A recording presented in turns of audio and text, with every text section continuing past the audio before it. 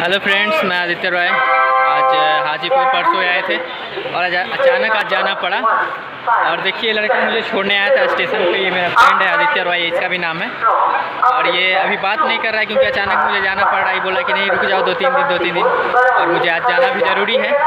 और ये लड़का अभी पूरा गुस्से में हमसे बात नहीं कर रहा है। पूछे कहे नहीं बात कर रहा है। अरे क्या हुआ? क्या? की हाल चाल? बात उतना ही कर रहा है। है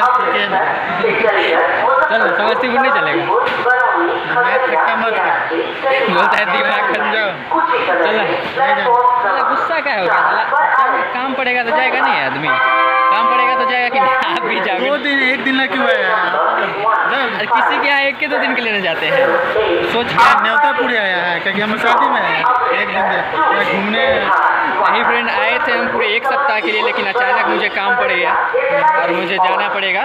इसको डेली काम में पड़ता है। इसको हम कल ही बोले थे कि मुझे जाना पड़ेगा लेकिन ये बोला कि नहीं कल नहीं जाना दो तीन दिन बाद जाना। अभी गुस्से गुस्सा होने का ज़रूरत नहीं है फिर कल ही आ रहे हैं मज़ाक मज़ाक में।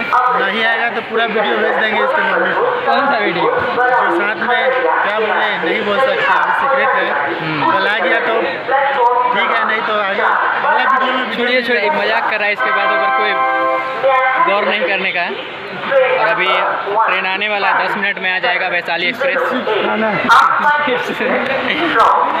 अभी लड़का को कुछ भी, कुछ पूछ भी रहे हैं कि क्या खाना है, कुछ पीना वगैरह है तो बोलता है, कुछ नहीं खाना है। तो चलिए फ्रेंड्स मिलते हैं ट्रेन में।